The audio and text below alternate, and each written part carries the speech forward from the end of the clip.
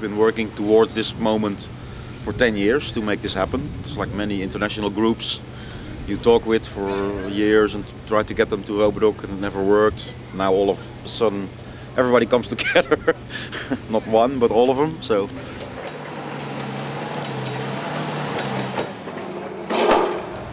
very good people uh, producing it. Still has the same vibe as, as 10 years ago. It's really the commitment of the, the, the people who make the festival, I think. The, the human resource is the biggest part of, of the whole story. It's not commercial, it's still crazy energy of maybe up to a thousand people this year trying to create this thing uh, all together in Amsterdam, you know.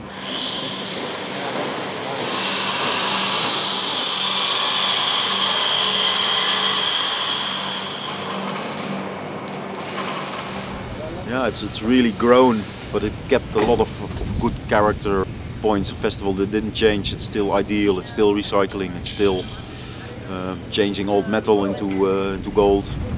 And it's still a very good atmosphere underneath the workers and everybody helping. Um, I think it's now one of the best technology festivals in the world.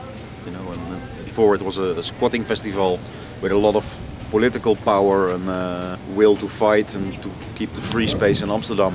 That, that way is still the same, but now much more professionally organized. And the message is a lot more clear, I think. What's the message? That is still fighting for free space in the city.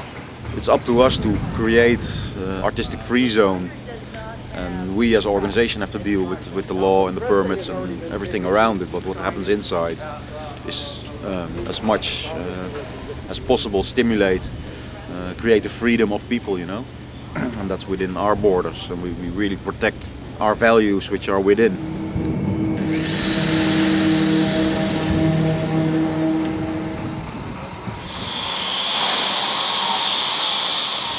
Now, the, our weakness is that, that the organization in wintertime is very small, that we don't have money to hire professional personnel.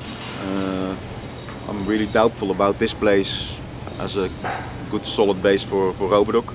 There's too many commercial parties attracted by Robodock, which basically gentrifies us out again.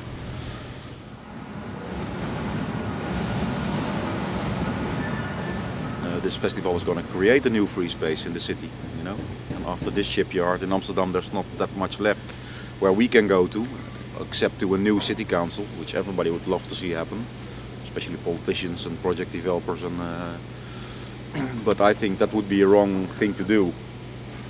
Uh, we can do that in a later moment, in two, three years maybe. But I think first in Amsterdam we need to realize our own uh, space. It's its time now, I think, to uh, go that direction.